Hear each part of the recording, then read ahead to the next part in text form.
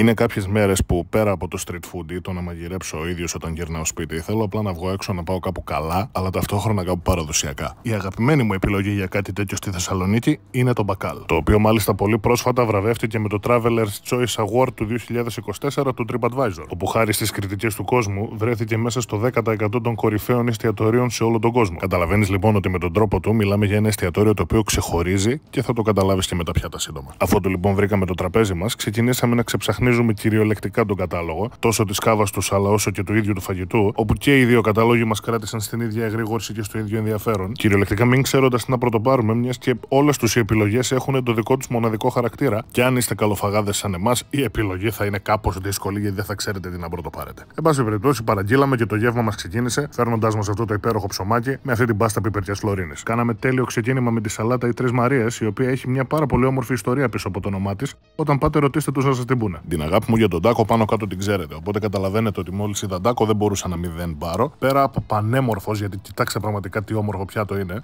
να σας πω ότι ήταν μέσα στους πέντε καλύτερους ντάκου που έχω φάσει στη ζωή μου. Συγκλονιστικός. Μετά έγινε λίγο πιο ενδιαφέρον με τα βραχάκια πατάτας, τα οποία αυτό που βλέπετε, βραχάκια πατάτας με κρέμα γραβιέρας και μπέικον. Σαν πυρουνιές γαστρονομικής αγάπης ήταν αυτά. Λοιπόν, πάμε όμως εδώ. Εδώ υπήρχε πάρα πολύ ενδιαφέρον. Αυτή εδώ είναι οι ψευτοκεφτέδες. Ένα πιάτο το οποίο έχει ντοματοκεφτέδες, οι οποίοι ήταν συγκλονιστικοί και κολοκυθοκεφτέδες. Οι οποίοι ενώ ήταν συγκλονιστικά νόστιμοι, με τους συγκεκριμένους ντοματοκεφτέδε ειλικρινά μπορώ να ζήσω. Μου λείπουν αυτή τη στιγμή που κάνω αυτό το voice Να περάσουμε όμως στο κανταή φυτηριών, το οποίο δεν γίνεται να μην σας πω γι' αυτό, το οποίο είναι με ανθόμελο και φυστική υγιεινής. Όταν φέρναν κανταϊφάκια οι συγγενείς στο σπίτι, θα ήθελα ειλικρινά να φέρναν αυτά. Δηλαδή το συγκεκριμένο πιάτο θα πρέπει να είναι παράνομο να είναι τόσο νόστιμο. Εδώ όμως το. Αρμένικο μπουρέκι το οποίο το φτιάχνουν μέσα στο ξυλόφουρνο. Ω, παιδιά, με παστούρμα και γιαούρτι και σάλτσα ντομάτα σε πάση Δεν έχω φάει κάτι τέτοιο στη Θεσσαλονίκη πουθενά. Αν είσαι αυτού του είδους ζήμη και γουστάρεις και τον παστούρμα όσο εγώ, ειλικρινά να είναι το πρώτο πράγμα που θα παραγγείλεις αυτό. Μετά περάσαμε στα κυρίω, γιατί εννοείται ότι μέχρι τώρα τσιμπούσαμε.